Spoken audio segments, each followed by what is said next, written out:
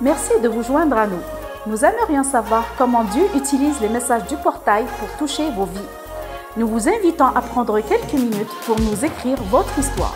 Aussi, si vous désirez nous aider concrètement à continuer de partager ces messages en ligne qui proclament que tout a toujours rapport avec Jésus, vous pouvez visiter notre site internet pour trouver la manière de donner qui vous convient. Merci et profitez bien du message d'aujourd'hui. Cela étant dit, j'accueille aussi ceux qui se joignent à nous un petit peu partout. Non seulement on va accueillir notre église de Terrebonne, de Saint-Eustache, on accueille également des jeunes un petit peu partout dans la francophonie. C'est une grâce sur le portail qui nous écoutent, qui nous suivent. Et ce matin, on commence une série de trois messages sur le racisme qui se nomme Je ne suis pas raciste, mais. Je ne suis pas raciste, mais. Vous savez, tout a toujours rapport avec Jésus, même notre rapport avec les autres cultures. Quelqu'un devrait dire Amen. Et, cette semaine, j'ai beaucoup euh, écouté. Euh, j'ai mangé avec des frères et des sœurs de d'autres origines ethniques du portail. Sur les réseaux sociaux, j'ai consulté des gens. Et voici le top 10 des phrases racistes, mais qu'on ne sait pas souvent, les Blancs, que c'est raciste. Donc, je fais ton éducation populaire. Premièrement, quand tu dis je ne suis pas raciste, mais moi, les Arabes, je ne suis pas capable. Comment dire ça? Tu es raciste. C'est comme si je disais à ma femme, je ne suis pas infidèle, mais non. Tout ce que tu rajoutes après le mais vient annuler ce qui vient avant. C'est comme si je te vois dans le fond d'une ruelle et je te dis, je ne suis pas un tueur, mais. Donc, je ne suis pas raciste, mais c'est raciste. Euh, souvent, des gens vont dire, souvent, c'est pas mal intentionné, c'est juste on fait de la culture populaire. Tu viens d'où? De Laval. Donc, c'est correct de s'informer de l'origine ethnique de quelqu'un, mais quand tu poses, tu viens d'où? Tu déclares, la première chose que tu déclares, c'est que tu ne viens pas d'ici. Donc, il y a peut-être une autre question à poser. Euh, également, ce qui est raciste. Tu parles bien. Tu parles bien français pour un immigrant. Il y a d'autres pays francophones en passant. Euh, et ce qui lui ressemble, ah oui, mais toi, tu n'es pas comme les autres Noirs. Tu n'es pas un vrai Noir. Tu n'es pas comme les autres Arabes. Tu n'es pas comme les autres Latinos que je connais. Ça aussi, à éviter. Euh, aussi, puis ça c'est anodin, mais encore une fois, quand quelqu'un dit Hey, je connais un je connais un Mexicain il s'appelle Pedro, est-ce que tu le connais? Comme si dans les 17 millions de personnes de ton pays, tu connais tout le monde. C'est comme si quelqu'un vient me voir et dit Hey, je connais un Québécois, il s'appelle Roger, est-ce que tu le connais? Euh, peut-être pas. Phrase raciste. Quand on dit à quelqu'un ah, des expressions québécoises qu'il faut éviter, plan de nègre à ne pas dire. Quelqu'un dit Oui, mais moi j'ai dit ça toute ma vie. Évolue.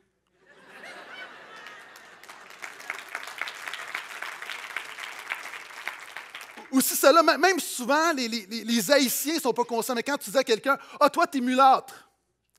Euh, là aussi, mulâtre, c'est le petit euh, d'une jument et d'un âne. Et ça fait un mulet, puis il est, il est, infertile, donc il ne peut pas se reproduire. Donc, c'est un animal dysfonctionnel. Mieux vaut dire métis. C'est pas. Humain, c'est plus court. Tu sauves une syllabe. Euh, ou genre, présumer que ton père est chauffeur de taxi. Ou que ta mère est préposée aux bénéficiaires? Ça, c'est du racisme. Une autre, chose, et là, je me fais le porte-parole de la communauté noire. Arrêtez de toucher à nos cheveux. Est-ce que je peux toucher tes cheveux? Eh, moi, mes cheveux ne sont pas fantastiques, mais ça m'insulte si tu viens toucher à mes cheveux. Les femmes enceintes, tu sais, quand les gens, parce que tu es enceinte, pensent qu'ils ont le droit de toucher ton ventre. C'est la même chose. Donc, euh, souvent aussi, des choses qu'on va entendre, pour moi, la pire, tu es belle pour une noire. des sœurs me l'ont dit beaucoup. En fait, on appelle ça en sociologie des micro-agressions. Vous savez, c'est pas. Souvent, pour les, Québécois de on va dire oui, mais c'est pas majeur, on exagère, mais c'est un peu comme si quelqu'un te donne une pichenote dans le visage, tu vas pas aller à l'hôpital, mais c'est insultant. Et quand ça fait 17 qu'on te donne, ça se peut qu'à un moment donné, tu sois en colère. Et c'est un peu ça le racisme, c'est quelquefois on ne réalise pas, il y a des micro-paroles qui présument quelque chose qui, vous savez, c'est l'abondance du cœur que la bouche parle, et à un moment donné, oui, ça peut devenir dérangeant. Et on peut poser la question, il y a des gens qui me disent, mais pourquoi tu abordes ce sujet super émotif? Tu ne devrais pas en parler. Il y a des Blancs qui m'ont dit ça et des Noirs qui m'ont dit ça. Euh, premièrement, je crois, puis je vais vous surprendre, là, mais que tout a toujours rapport avec Jésus. Jésus a dit, ne jugez pas sur les apparences. C'est le fondement du racisme. La Bible parle, puis je vais, on a trois messages, on va pouvoir y revenir. L'aspect culturel est omniprésent dans la Bible. Maintenant, OK, avertissement. Je suis sur un terrain miné. OK? Je suis sur un terrain miné et nommer les choses, c'est difficile lorsqu'on parle du racisme. Pourquoi? Parce que même les gens qui ne sont pas québécois de souche ne sont pas d'accord sur la manière de nommer les, les choses. Les sociologues ne sont pas d'accord. Donc, on va s'entendre, OK? Parce que si on veut appeler un chat un chat, je dois mettre la table d'entrée de jeu. Donc, à un moment donné, je dis, bon, est-ce qu'on va parler de, noir? Quelqu'un dit non, les noirs, ça c'est une couleur, c'est un objet. Dans les films, les méchants ont un chapeau de cowboy noir et les bons ont un chapeau de cowboy blanc. Tu ne peux pas dire noir. Je dis, OK, couleur. Quelqu'un a dit non, on ne peut pas dire gens de couleur, ça aussi, parce que la couleur, c'est plus un objet. Euh, OK, dans, ce cas-là, on va parler de minorité visible. On me dit non, non, non, tu ne peux pas dire ça. Parce que quand tu dis minorité visible, il n'y a pas d'équivalent pour les Blancs, il n'y a pas de majorité invisible. Donc, c'est comme une étiquette. Quelqu'un dit, oh, dans ce cas-là, on va parler des non-blancs. Non, non, non, non, non des amis qui disent non, on parle de diversité culturelle, de différences ethniques. Quelqu'un me dit on parle de gens racisés. OK, plein, puis on n'est pas d'accord. Puis puisqu'on n'est pas d'accord, OK, je vais faire quelque chose là. Je vais parler pour ce message, pour que je me fasse bien comprendre, de blanc et de noir. Et tu vas comprendre pourquoi je veux bâtir quelque chose. Et quand je vais parler de noir, euh, ça, il y a des Arabes qui vont se reconnaître là-dedans. Il y a des Latinos qui vont se reconnaître là-dedans on va bâtir quelque chose et je dois commencer avec un langage que tout le monde comprend. Donc, est-ce que vous me donnez le droit de partir quelque part? OK. Maintenant, deux choses. Je vous demande pardon à l'avance. C'est sûr que je vais me mettre les pieds dans les plats. C'est un sujet super émotif et même les spécialistes ne sont pas d'accord. Deuxièmement, je te demande quelque chose que je ne dis pas souvent. Fais-moi confiance. Fais-moi confiance, reste avec moi pendant les trois messages. Il y a un moment donné, je vais parler de choses qui vont être troublantes, dérangeantes, offensantes. Reste avec moi pendant les trois messages. Si tu me considères comme ton pasteur, que le portail de ton église, je te demande, fais-moi confiance, je veux t'emmener quelque part. Par la grâce de Dieu, je crois que j'ai vraiment une parole de Dieu pour notre Église, alors qu'on travaille sur notre communauté pour vivre ensemble et on doit commencer. Donc, sans plus tarder, le titre de mon message ce matin, c'est simplement Jésus n'était pas blanc.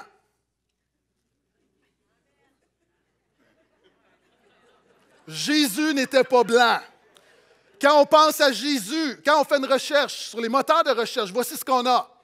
On tape Jésus et l'image qui apparaît dans le moteur de recherche, c'est un paquet de Jésus blanc, blanc, blanc, blanc, blanc, blanc, blanc, blanc, blanc, blanc, blanc, blanc, blanc, blanc, blanc, blanc, blanc, commandité par la Parisienne. OK? Maintenant, c'est intéressant parce que Jésus, c'est pas un Américain. Jésus ne ressemble pas à mon oncle du Saguenay. Jésus, encore si on veut comparer, Jésus, dans les, Juifs de Palestine de cette époque, ressemblait plus à ça. Il y a des recherches qui ont été faites, on peut mettre l'image. Donc, voici ton Jésus. Oh non, ça, c'est pas mon Jésus.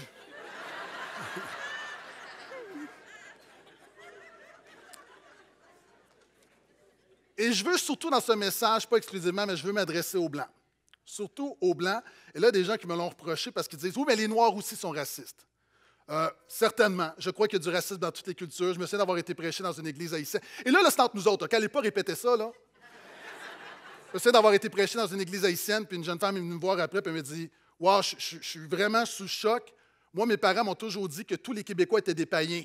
Puis en plus, t'es pasteur. Un pasteur blanc chrétien, je ne croirais pas que ça existait. Il y a aussi dans la culture dans la culture, quelquefois même, il y a du racisme, entre, ah, par exemple, entre Africains et Haïtiens. Hein, il y en a aussi, on l'a vécu au Québec, français, anglais.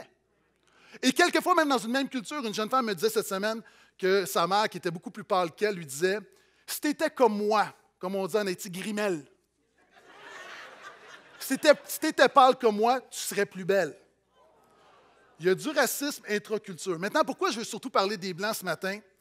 Euh, parce que Jésus dit, avant de retirer la paille dans l'œil de ton voisin, regarde la poutre qui est dans ton œil. Quand je parle du couple, je commence toujours par les hommes. Quand je parle de la famille, je commence toujours par le père. Quand je commence de la responsabilité de l'Église, je commence par le rôle du pasteur. Quand je parle de notre culture, je commence par le rôle du chrétien. Et quand je parle de racisme, je commence par les blancs. Je vais te dire pourquoi, parce que ça va te surprendre. Je suis blanc. Donc, Il y a un passage biblique percutant pour nous les Blancs. Et sans plus tarder, nombre 12, puis même si vous n'êtes pas blanc, vous avez le droit de tourner, parce que ce message s'adresse à tous, mais comme je dit, je bâtis quelque chose. On est dans le désert, c'est le, Dieu prend un peuple, le sort d'Égypte, il y a Moïse, Dieu lui donne les dix commandements, puis il y a une dynamique ethnique qui prend place dans le désert. Il y a beaucoup, beaucoup de choses. Et à un moment donné, Moïse, sa première femme, Séphora, on ne sait pas si elle est morte, mais il se passe quelque chose. Et Moïse va prendre, va se marier. Et voici ce que la Bible dit. Verset 1. Alors Myriam et Aaron, Myriam et Aaron parlèrent contre Moïse au sujet de l'Éthiopienne qu'il avait prise. C'est une Éthiopienne qu'il avait prise pour femme. La Bible prend la peine de le mentionner deux fois pour dire, voyez-vous, il y a un accent là-dessus sur la couleur de sa peau. Le Seigneur se mit en colère contre eux. Il s'en alla. La nuit se retira d'au-dessus de la tente. Myriam était couverte de lèpre. Elle était blanche comme la neige. Aaron se tourna vers Myriam. Elle était couverte de lèpre. Alors Aaron dit à Moïse, Pardon, mon Seigneur, je t'en prie, ne nous charge pas de ce péché que nous avons eu la folie de commettre. Moïse cria vers le Seigneur, Ô Dieu, je t'en prie, guéris-la. Le Seigneur dit à Moïse, Si son père lui avait craché au visage, ne serait-elle pas dans la honte pendant sept jours? Qu'elle soit exclue du camp pendant sept jours. Après cela, elle sera réintégrée. Myriam fut exclue du camp pendant sept jours. Le peuple ne partit pas avant que Myriam ait été réintégrée. OK, voici ce qui se passe. Myriam, littéralement, les Couchites. Couchites, c'est une civilisation au sud de l'Égypte qui est à peu près aujourd'hui le Soudan. Dans, historiquement, on parle de l'Éthiopie. Les Grecs les appelaient Éthiopiens, qui veut dire face ou visage brûlé. On croit, les données historiques nous disent que lorsque le peuple est sorti d'Égypte, il y a des gens des Égyptiens, la population là, qui est une population quand même assez multiethnique, s'est joint au peuple de Dieu. Et on pense que cette Éthiopienne, cette Africaine, était dans le peuple de Dieu. Et à un moment donné, Moïse, pour une raison ou une autre, décide de la marier et on remet en question l'autorité sur la base, on se sert d'un prétexte, le prétexte ethnique. Soulignant, elle est noire, tu ne peux pas faire ça. Et Dieu ne condamne pas le mariage, interracial. Ce que Dieu va faire, il va condamner le péché du racisme, parce que le racisme est un péché et Dieu le condamne. Et ce que Dieu fait, alors que Myriam et Aaron ont péché, justement sur la base de la couleur de la sœur, Dieu amène un jugement où Myriam est couverte de lèpre et elle est totalement blanche. Et c'est John Piper qui va commenter en disant, tu aimes avoir la peau blanche, Myriam, tu minimises l'Égyptienne parce qu'elle est noire, et excusez-moi, l'Éthiopienne parce qu'elle est noire et étrangère. Très bien, je vais rendre ta peau encore plus blanche. Il y a quelque chose qui prend place où Dieu déteste le favoritisme sur la base ethnique. Quelqu'un devrait dire Amen. Et c'est intéressant parce que dans la Bible, la couleur noire n'est jamais liée au péché. Le mot, la couleur qui définit le péché, c'est écarlate.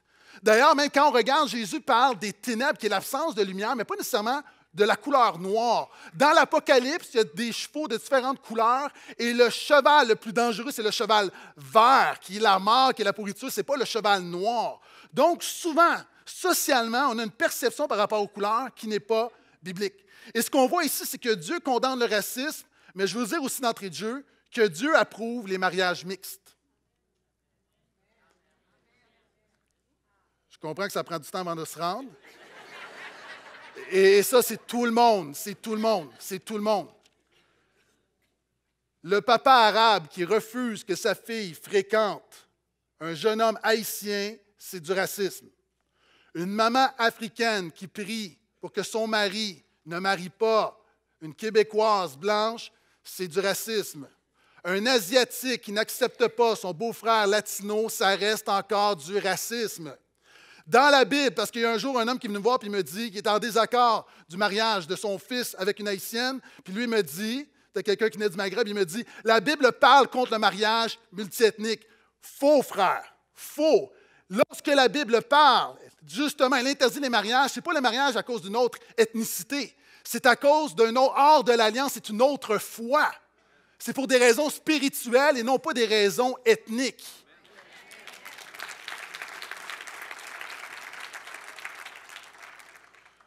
Un chrétien qui a un problème avec un proche de sa famille, qui fréquente quelqu'un d'une autre nationalité, ne devrait pas espérer que la nationalité change, devrait prier que Dieu change son cœur. Et quand quelqu'un espère que sa lignée reste pure, parce qu'il y a ça là-dedans. Non, non, mais nous, on est, on est de telle nation, puis on, veut, on veut la pureté quelque part. Euh, est-ce que j'ai besoin de commenter ça? OK. Maintenant, quelques points on bâtit quelque chose. Première chose que je veux dire, le racisme est un péché présent dans le cœur de tout le monde. Le péché, le racisme est un péché présent dans le cœur de tout le monde. Quand je dis tout le monde, je veux dire toute, toute, toute, toute, toute, toute personne ici. Tout le monde. Tu regardes la personne discrètement à côté de toi, oui, il y a du racisme dans son cœur. Tout le monde. Et souvent, on réagit beaucoup, on dit non, pas moi, pas moi, pas moi. Chaque être humain est né pécheur et a ancré dans son cœur le péché de préjugé, de partialité, de favoritisme, qui est à la base du racisme.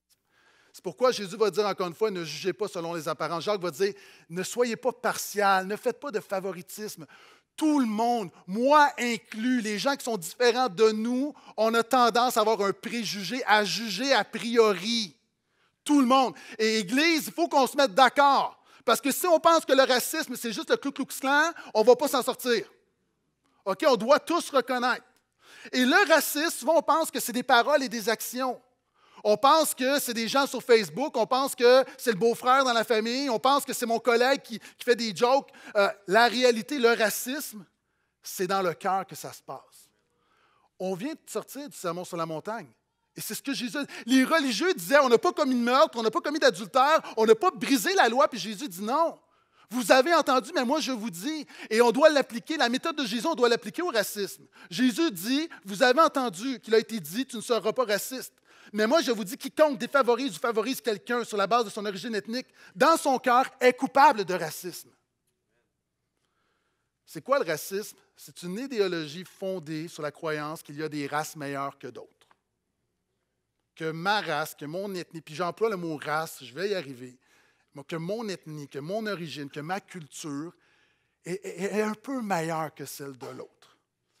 OK, si par exemple je te dis, je parle aux Québécois de souche, si tu avais le choix entre devenir américain ou rester québécois, réponds pas, qu'est-ce que tu ferais? OK.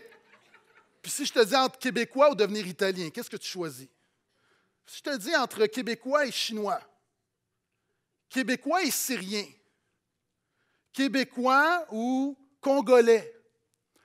Il se passe quelque chose. Au moment où tu réfléchis, tu évalues les différentes nationalités, tu attribues une valeur et tu tentes d'évaluer ce qui serait une bonne chose. C'est exactement ça le racisme. C'est d'attribuer une valeur à une culture, à une hiérarchie. Donc, de dire que ma culture, puis on ne le dit pas comme ça, puis on ne le croit pas de manière explicite, mais dans notre cœur, il y a comme ma culture est un peu meilleure que celle du Syrien qui vient d'arriver, par exemple. Je veux dire aussi que le mot race, ça n'existe pas. La race, de parler des différentes races, ça n'existe pas. Ce concept n'est pas un concept biologique. On parle d'espèces. Une race est une sous-espèce animale. Le caniche est une race de chien. Le Canadien, ce n'est pas une race. Ça n'existe pas. En biologie, encore une fois, on parle d'espèce. Une espèce, c'est qu'entre nous, on peut se reproduire. Une espèce canine ne peut pas se reproduire avec une espèce féline. Rex ne peut pas faire un bébé avec Minou. Maintenant, appliquer le concept de race à l'être humain, c'est de dire qu'il pourrait y avoir des dysfonctions, alors que d'une manière biologique, N'importe qui sur la Terre, encore une fois, il y a une seule espèce humaine. Et on pourrait dire, si on veut garder mon il n'y a pas plusieurs races, il y a une seule race humaine créée de Dieu, à l'image de Dieu, qui descend de Dieu.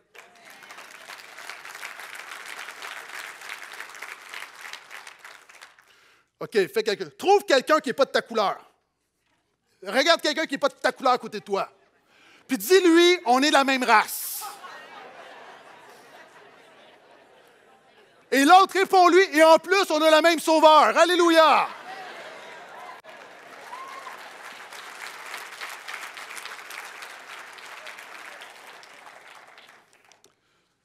Deuxième chose qu'on doit comprendre, c'est que le racisme fait partie d'un système mondial bâti par Satan.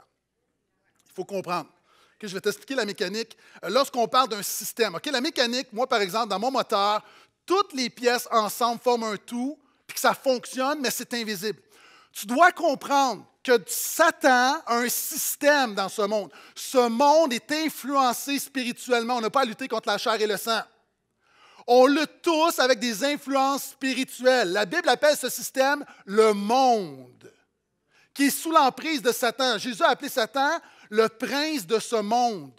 Et Satan se sert, c'est quoi le système de Satan? Satan se sert de la religion, de la politique, de l'économie, de l'éducation, du divertissement pour bâtir un système planétaire hostile à Dieu, caractérisé par l'individualisme, le matérialisme, le sexisme, le racisme, l'athéisme, le paganisme et tous les autres ismes. On pense souvent, est-ce que tu penses que présentement, l'hypersexualisation ou le matérialisme, que ça arrive comme ça? Que ça arrive comme ça? Non, il y a une influence spirituelle. Et alors que le péché de favoritisme est dans tous les cœurs, Satan bâtit un système et il veut que tu joues dans ce système-là. Il veut t'emmener dans son système. Et c'est pour ça que c'est important de comprendre que le racisme est un rouage important dans le système du diable. Et il y a différentes étapes. Premièrement, ça commence avec des stéréotypes. C'est quoi des stéréotypes? C'est que l'être humain, on, est bâti pour stéréotyper les gens, pour les mettre dans une catégorie. C'est une, une croyance sur une culture qui la généralise. Par exemple, des stéréotypes de dire tous les, tous les latinos dansent bien. Moi, ça, je pourrais poser la question est-ce qu'il y a quelqu'un ici qui est un latino qui danse mal? Lève la main. Ça existe. Des généralités où on va dire, par exemple, tous les Asiatiques sont bons en maths. Ou on va dire, on va généraliser Ah, les Italiens, eux autres, ils ont de l'argent. Tous les Italiens ont de l'argent. Voyez-vous, on prend une particularité, une particularité culturelle, et ce qu'on fait, c'est qu'on va l'établir pour tout le monde. Ah, OK, parenthèse. Il y a des particularités culturelles. Je ne suis pas en train de dire que, oui, les races n'existent pas, mais je ne suis pas en train de dire que d'une culture à l'autre, il n'y a pas des particularités. Toutes les cultures ont leurs forces et leurs faiblesses. C'est pas ça que je suis en train de dire. Je suis en train de parler de généraliser. Quand on parle de particularités, moi, j'ai grandi à Montréal-Nord et dans mon, dans mon école, il y avait la gang des Québécois, il y avait la gang des Haïtiens, puis il y avait la gang des Italiens et des Grecs. Lorsque c'était le temps de choisir dans les sports à l'école, on, allait par exemple au hockey Cosam. OK, je choisissais quelques personnes. Lorsque j'étais capitaine puis on jouait au basket, je ne suis pas fou. Je ne vais pas choisir Reynald. Pourquoi? Parce que statistiquement, il y a plus de chances qu'un Haïtien soit bon au basket qu'un Québécois. Puis lorsqu'on jouait au soccer, c'était la même chose. Je regardais mon, amour, mon ami Marco Tamasso, tu es dans mon équipe, Marco. Particularité culturelle. Puis c'est la même chose. Quand on dit, par exemple, on parle, on dit les Asiatiques sont bons en maths. Ce pas tous les Asiatiques. Mais est-ce que ça se pourrait que les Asiatiques valorisent la discipline et qu'ils vont exceller dans certains domaines qui demandent beaucoup de discipline? Est-ce que ça se pourrait? Lorsqu'on dit que les Italiens ont de l'argent, est-ce qu'on réalise, est-ce que ça se pourrait que les Italiens sont établis ici depuis plusieurs générations? Est-ce que ça se pourrait que les ancêtres ont fait des sacrifices que peut-être que certains Québécois n'étaient pas prêts à faire? Est-ce que ça se pourrait qu'un Italien qui a de l'argent aujourd'hui, ce n'est pas à cause qu'il est dans la mafia?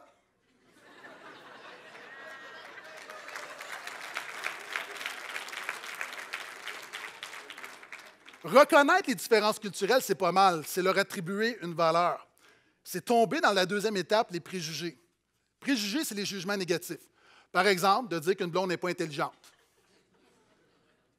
Que toutes les blondes intelligentes disent Amen. Il n'y a personne qui a dit Amen. Dites Amen, je veux vous aider. OK. Deuxième chose, les préjugés, c'est de dire, bon, on sait bien, tous les Arabes, c'est des terroristes. En passant, il y a plein de. Je vais revenir sur les Arabes. Je vais revenir sur les Arabes, j'ai un point là-dessus.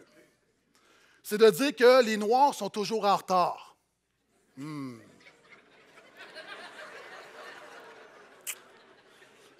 Est-ce que de dire les Noirs sont toujours en retard, c'est du racisme? OK, vous ne serez pas d'accord, personne n'est d'accord. Voici mon opinion. OK, même, mettons, supposons qu'on démontre statistiquement, de manière objective, que généralement, les personnes de couleur sont plus en retard que les autres. Supposons, j'ai plein d'amis, plein d'amis noirs qui vont dire Tu mets des gants non, non, généralement, on est plus en retard. OK. de dire que tous les Noirs sont toujours en retard, est-ce que c'est du racisme? Oui, parce que tu viens de généraliser. Je connais plein de Noirs qui sont à l'heure. Vous savez, un Noir, je connais des amis qui sont toujours hyper ponctuels, mais le Noir arrive en retard une fois, on va dire, c'est bien, c'est sa culture. Moi, je connais des Blancs là, qui sont vraiment mauvais au niveau du temps. Est-ce qu'on va dire, on sait bien, hein, c'est un Blanc? Voyez-vous, c'est là le racisme. C'est qu'on prend un élément, puis il y a deux poids, deux mesures. Aussi, lorsqu'on dit dans une église, OK, OK, je vais vous le dire, là, ça reste entre nous. Dans, je ne veux pas dire toutes les. Mais en France et au Québec, ça revient régulièrement. Dans les églises multiculturelles, de dire, souvent on va dire, oui, mais les Noirs sont toujours en retard.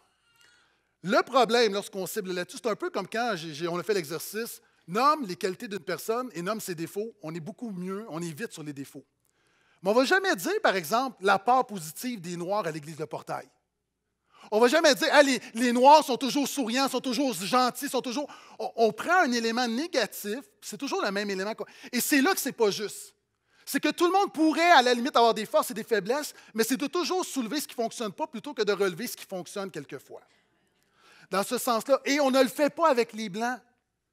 Moi, je n'ai jamais entendu dire, bon, on sait bien, les Blancs sont toujours. Peut-être, ça se dit, je ne l'ai jamais entendu.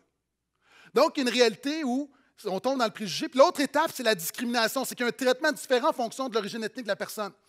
Et là, restez avec moi, les Blancs, là, on a un sept minutes difficile à faire ensemble. OK? Pour les Blancs, notre culture blanche, on est habitué d'avoir une culture dominante. Ça amène une idéologie de la suprématie blanche ou de la supériorité de la culture blanche. Et comment ça se manifeste? Les gens vont dire qu'ils réagissent. Voyons donc, encore une fois, je ne suis pas un raciste, je ne suis pas le kékéké, je ne suis pas. Voici comment ça se manifeste. Cette idéologie de la suprématie blanche se manifeste parce que la majorité, sinon la totalité des Blancs, sont convaincus que leur culture est la norme. La norme par laquelle on juge toutes les autres cultures. Le problème, c'est qu'on est blanco-centrique. On est blanco-centrique. Et, je l'ai réalisé. Moi, vous savez, beaucoup de Blancs vont dire ben moi, je n'ai pas de culture. C'est quoi ton origine ethnique? Ben moi, je ne suis pas ethnique. Ne réalisant pas que, oui, ta bouffe peut être exotique pour quelqu'un d'autre. Lorsque j'étais cet été, dans cet automne, j'arrive aux États-Unis, je suis dans un, un endroit où c'est des gens de partout à travers le monde. Je suis devenu la minorité visible. En plus, je présente mon nom Gaétan. Personne n'est capable de prononcer mon nom. Oh, it's a funny name. No, it's a normal name. Puis là, je suis là comme, what is your name? Puis là, gens de partout, partout, ils se disent, Gaétan. Euh, Gaétan? Non, Gaétan. Gay, gay, gay. Tan, tan. Et là, ils sont là comme Gaétan? OK, call me Gate. Gate. Just Gate. Just Gate. Just Gate. Mais j'ai réalisé pour une des premières fois de ma vie que j'étais quelqu'un qui avait une origine ethnique. J'étais un étranger. Ça a juste duré dix jours et j'étais épuisé. Quand ça va être long, vous savez, pour plusieurs Blancs, c'est une thématique de trois semaines. Alors que pour plusieurs, la majorité des gens qui sont ici, c'est une thématique d'une vie. Donc, quand je parle qu'on a tendance à, réaliser, vous savez, les Blancs, on va tout blanchir. Par exemple, OK, imagine Cléopâtre. Cléopâtre qui était vue comme l'une des plus belles femmes du monde. Tu l'image en tête? Pour les plus vieux, là, tu l'image de, c'est quoi, Liz Taylor? OK. Les données archéologiques ont démontré que Cléopâtre était noire. Eh oui. Comment tu imagines Moïse? Tu un genre de Doc Mahou de, l'Antiquité. On imagine les gens comme qui nous ressemblent. Et c'est là, quand je dis on fait la norme, dans la majorité de nos films, le héros, dans la majorité, pas la totalité, ça commence à changer, mais c'est un blanc. As-tu déjà vu des gangs de rue blanches? Dans les films, c'est toujours des Noirs, toujours des Latinos, c'est toujours. As-tu remarqué le jardinier? C'est jamais une famille noire avec un jardinier blanc. Toujours une famille blanche avec un jardinier noir. La femme de ménage, la latina, mexicaine. Tu vois jamais une famille de Mexicains avec une Américaine qui fait le ménage. Et il y a quelque chose qui rentre quand je dis que c'est comme Ça rentre en nous, on est comme ça, on s'en rend pas compte. Et le piège, c'est qu'on fait de notre culture blanche le centre d'évaluation pour évaluer tous les autres. Et c'est là que c'est mal. Parce que quand tu fais ça, implicitement, tu te vois comme supérieur aux autres. On pourrait continuer. Tu sais, puis on ne veut pas réécrire l'histoire, mais nous, on nous apprend au Québec. Avez-vous remarqué, au Canada anglais, l'histoire, ce n'est pas la même qu'on raconte qu'au Québec? Au Québec, c'est les méchants Anglais. Au Canada anglais, c'est les pauvres Français qu'on est venu aider. Avez-vous remarqué aussi, ce n'est pas la même histoire que les, encore une fois, que les Premières Nations? On dit Christophe Colomb a découvert l'Amérique. Puis un Amérindien va dire Ouais, ça, c'est comme si un voleur rentre dans ta maison puis découvre ton ordinateur.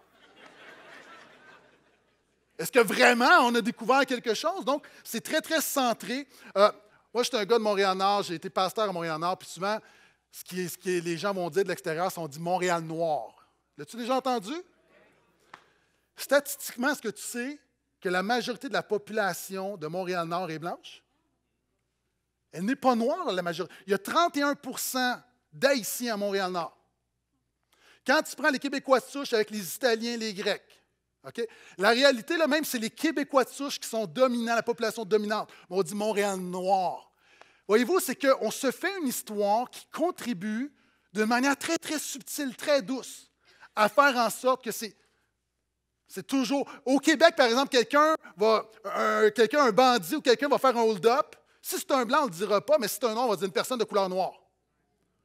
On ne va jamais dire l'inverse. Tu dis oui, mais c'est quoi le problème? Le problème, c'est encore une fois, c'est qu'on est blanco-centrique. Et voici l'essentiel, et je vais te dire quelque chose aux blancs qu'on ne t'a jamais dit, qu'on ne réalise pas. Être blanc, naître blanc, ça nous donne des privilèges on est privilégié. Par exemple, comment ça se manifeste? Dans une entrevue, je n'ai jamais pensé un moment que mon CV ne serait pas reconnu parce que mon nom est Gaétan puis je suis blanc. Lorsque je n'ai pas eu des jobs, ça n'a jamais été parce que je suis blanc. Quand tu t'appelles Mohamed, c'est plus difficile de trouver une job que si tu t'appelles Marcel. Puis quelquefois, tu peux changer ton nom, puis il y a des gens ici, tu viens d'un autre background, mais lorsque les gens arrivent, ils font Oh, OK, je ne savais pas que tu étais noir. Et tu pars avec deux prises contre. Être blanc, ça nous donne un privilège. Au niveau de l'école, je n'ai jamais dit à mes enfants Tu vas devoir travailler plus fort parce que tu es blanc. Quels sont les parents ici, les parents noirs, les parents arabes, les parents de d'autres qui ont dit ça à leurs enfants? Tu vas devoir travailler plus fort. Parce qu'encore une fois, c'est plus facile d'être blanc dans notre monde. Quand je continue, euh, par exemple, quand je me fais arrêter par la police, c'est toujours parce que j'ai fait quelque chose. Je ne me fais jamais coller par la police à 1 heure du matin un samedi. J'ai des amis noirs à qui ça arrive régulièrement. Des, on a des amis, couple noirs, que je nommerai pas dans le ministère. Ah, il y, a du choix, il y a quand même du choix, là, il y a du choix. Non, puis, tu te fais coller par la police la nuit, puis là, on vient voir, OK. Puis là, demande à sa femme, êtes-vous correct, êtes-vous correct? Parce qu'être avec un homme noir, c'est une menace. En tant que blanc, je n'ai jamais vécu ça. Donc, il y a une réalité, être noir. Hein, puis le racisme commence pour les Blancs de réaliser qu'on a des privilèges. Quand j'ai été pour un appartement, je me suis déjà fait dire oh, je ne ferai pas d'enquête, tu as l'air d'une bonne personne. Quand tu es noir et arabe, ça arrive pas mal moins souvent. Souvent, c'est arrivé comme Oh, pas besoin de faire de dépôt, je te fais confiance. Quand tu es noir et arabe, ça arrive presque pas. Puis ça, c'est quand tu as réussi à avoir l'appartement. Parce que d'une manière magique, l'appartement, entre-temps, il était loué d'une manière qu'on ne comprend pas. Être blanc arrive et amène des privilèges. Quand j'entre dans un magasin, on me surveille jamais plus parce que je suis blanc. Ça arrive jamais. Voyez-vous, j'arrive dans un. Je ne me pose pas la question. C'est jamais arrivé que lorsque je suis rentré dans un magasin, quelqu'un m'a regardé et me dit Je n'irai pas le voir parce que je suis sûr qu'il n'y a pas l'argent d'acheter ce qu'il y a dans le magasin. Et ça, c'est l'histoire que plusieurs Noirs vivent régulièrement. Quand ma femme va à la pharmacie, elle a, peu importe la pharmacie du Québec, elle n'a jamais de problème à trouver du maquillage. Jamais, jamais, jamais. Parce que c'est comme, c'est la norme. Puis dans certaines, dans certaines pharmacies, peut-être que tu as une ligne pour les Noirs, mais peut-être pas. Donc, une réalité, être blanc vient avec plusieurs, plusieurs privilèges. Et c'est important de le comprendre. Et ça, ça amène des inégalités. Et voici ce que nous, on se dit en tant que Québécois de souche. Quand on regarde les immigrants, on, croit qu'on est dans une méritocratie. On pense que chacun mérite, chacun va récolter ce qu'il a semé. Puis quand on regarde les gens, quelquefois, qui, sans moins, leur vie est moins en développement, ils n'ont peut-être pas notre maison, ils n'ont pas notre job, ils n'ont pas la stabilité, souvent on va remettre en question, on va se dire Oui, mais s'ils travaillaient plus fort. Je veux juste dire, les chrétiens devraient être ceux qui sont le mieux placés pour comprendre la notion de la grâce. Si je suis né au Québec, dans un pays de liberté et de prospérité, ce n'est pas parce que je suis meilleur, c'est une grâce. C'est un privilège que Dieu m'a donné.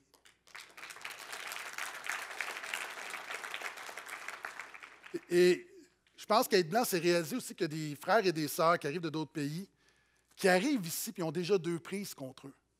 Il y a des gens même qui naissent ici qui ont déjà une prise contre eux, pour toutes les raisons que j'ai mentionnées.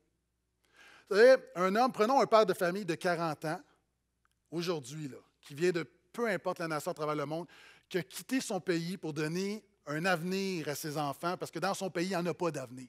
Il y a des gens ici qui pourront en témoigner. 40 ans, on pourrait se comparer. Mais pendant que moi, je rencontrais une femme, que je fondais un foyer, que j'étais aux études, que j'étais le ministère, lui a dû apprendre une langue. Il a dû refaire ses études parce que son diplôme n'est pas reconnu. Il a dû accepter des job-ins. Puis oui, il y a de la misère à joindre les deux bouts. Puis oui, ça amène la pauvreté. Puis oui, ça amène l'instabilité. Puis ça amène plein d'affaires. Et lorsque je regarde aujourd'hui à 40 ans, je ne peux pas juger parce que je dois reconnaître que je suis parti avec une longueur d'avance dans la vie. Donc, la notion du racisme, c'est de comprendre ça. Et en fait, ce que le diable veut dans son système, c'est qu'il veut, il veut attaquer le fait que chaque être humain a été créé à l'image de Dieu.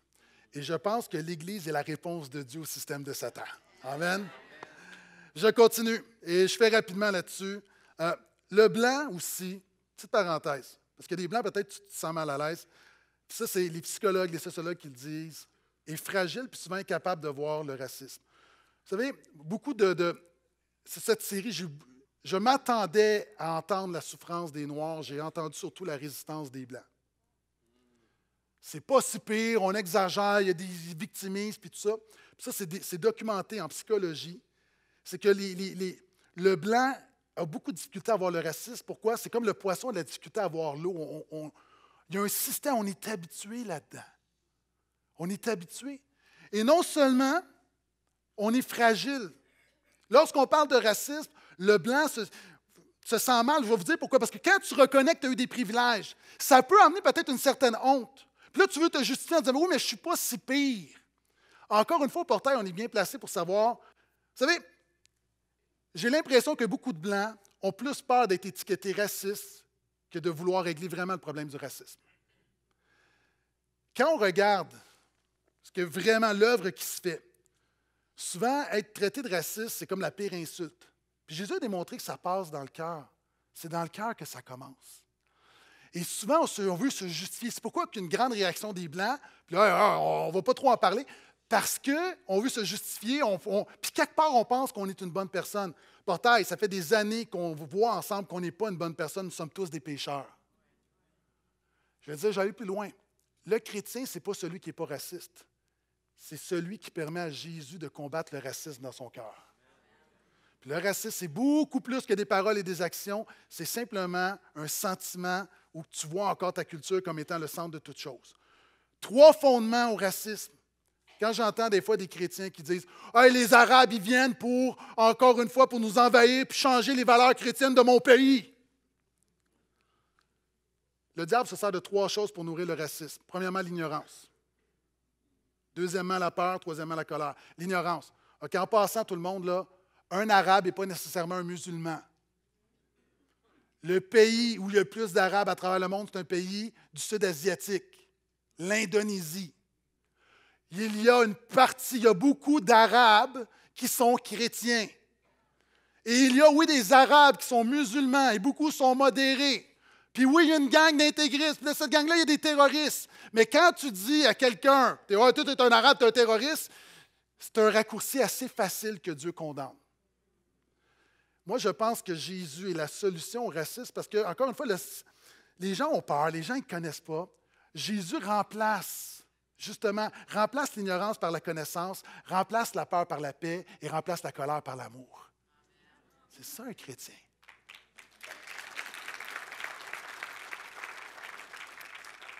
Et voici quelque chose qui va peut-être te jeter à terre. La race blanche et la race noire n'existent pas. Ça n'existe pas en biologie. Ça s'appelle une construction sociale. Ça veut dire quoi? Ça veut dire que c'est une patente qui a été construite par la société. Voici d'où ça vient. Dans l'histoire, on n'a eu aucune notion de blanc-noir. C'est aux États-Unis que ça a commencé. À un moment donné, il a fallu qu'on justifie les Américains ont dû justifier l'esclavage. Comment est-ce qu'on peut le faire? Parce que les gens se voyaient, les premiers colons se voyaient comme descendants, soit anglais, français, italiens, espagnols, hollandais, allemands, ne se voyaient pas comme des blancs. Puis à un moment donné, on a dû justifier. Il y a eu un mécanisme psychologique, on s'est dit comment justifier l'esclavage? C'est simple, il y a des blancs et des noirs. Puis les blancs sont supérieurs aux noirs, donc on est justifié de l'esclavage. Et à un moment donné, les Irlandais sont arrivés, puis les Irlandais étaient mal vus par les, Américains parce que les Américains se disaient on est des natifs, vous autres, êtes des étrangers. Les Américains se tenaient avec les Noirs africains.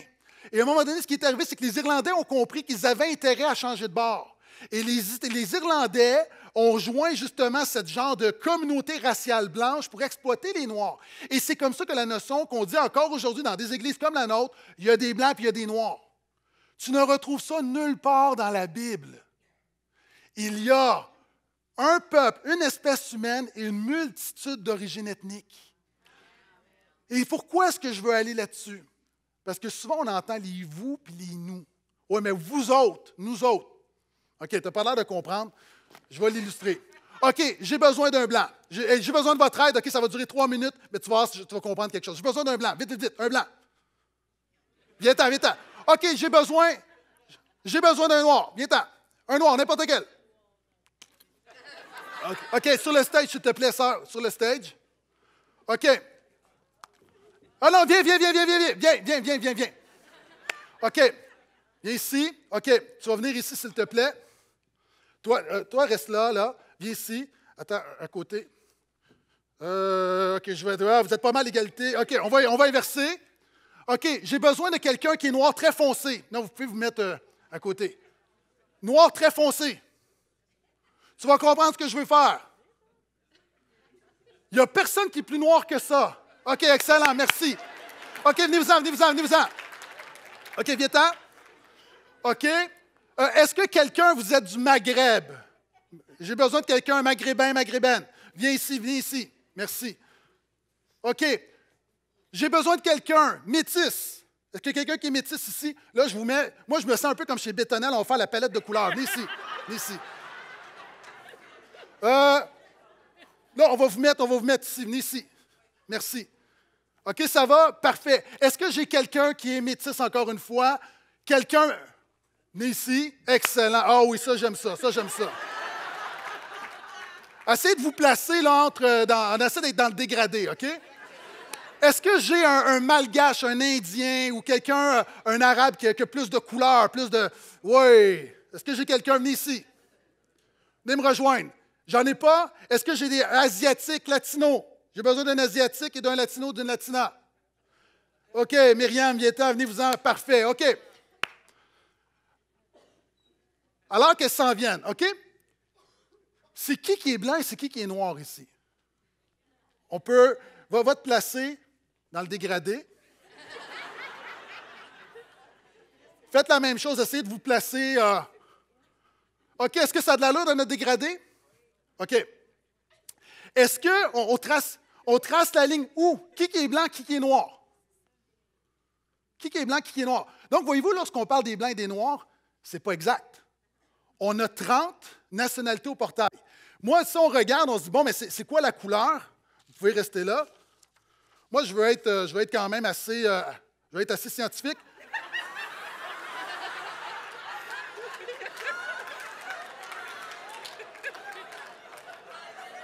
Donc, vous êtes, vous êtes café colombien. Caramel brun. Coco loco. Crème de cacao. Café latte. Collier de perles. Et, je pourrais continuer. Maintenant, voyez-vous, blanc-noir, ça ne fonctionne pas. Et là, en plus, on va dire, là, je vais vous mélanger. Sœur, tu viens d'où? Maroc. OK. Levez la main, ceux qui viennent d'Afrique. Mais ben, toi, tu viens d'Afrique. Bon, là. Aussi, OK, non, mais vous, levez la main. OK. La sœur, quelque elle est africaine. Donc, quand on dit les Africains, c'est les Noirs, puis vous êtes plein d'autres choses, on s'entend, l'identité est, complexe. Mais mon point, c'est que lorsqu'on a une vision binaire des choses, ça ne reflète pas la diversité de ce que Dieu est en train de faire parmi nous et sur la terre. Amen.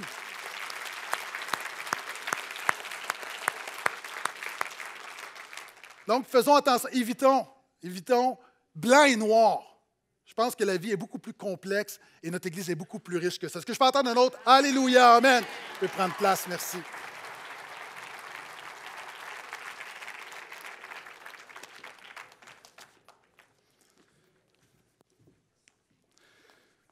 Et alors que les musiciens viennent me rejoindre, mon dernier point, c'est que le racisme a toujours rapport avec Jésus. Vous savez, il y a tout un mouvement justice sociale désincarné de l'Église de l'Évangile, puis il y a tout un mouvement d'Évangile sans justice sociale. Je pense que ça fait partie de la bonne nouvelle de la grâce qu'on vit ensemble.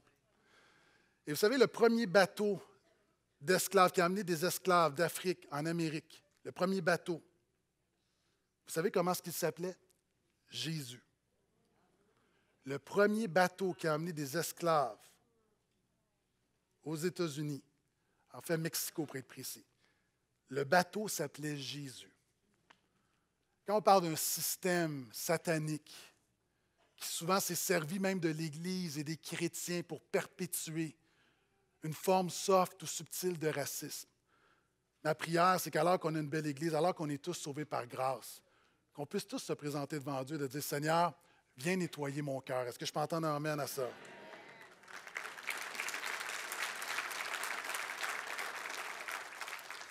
Et vous savez, là aussi, on pourrait tomber dans le moralisme. Je pourrais arriver et dire, OK, on va tous se lever, on va se tenir par la main, on va chanter Kumbaya, puis euh, fais-toi un ami. Mais voyez-vous, c'est le comportement. C'est qu'on travaille le comportement, puis je le dis toujours, ça commence par un changement de cœur. La première étape ce matin, je ne te dis pas voici ce qu'il faut que tu fasses. J'aimerais que chaque personne, on, puisse réfléchir quelques instants. Qu'est-ce qu'on a à tirer de ce message? Qu'est-ce que Dieu veut nous dire ce matin à chacun d'entre nous? Ça peut être la prière de dire Seigneur, change mon cœur, change mon cœur. Viens balayer, viens équilibrer. Fais-moi voir les autres comme tu les vois créés à ton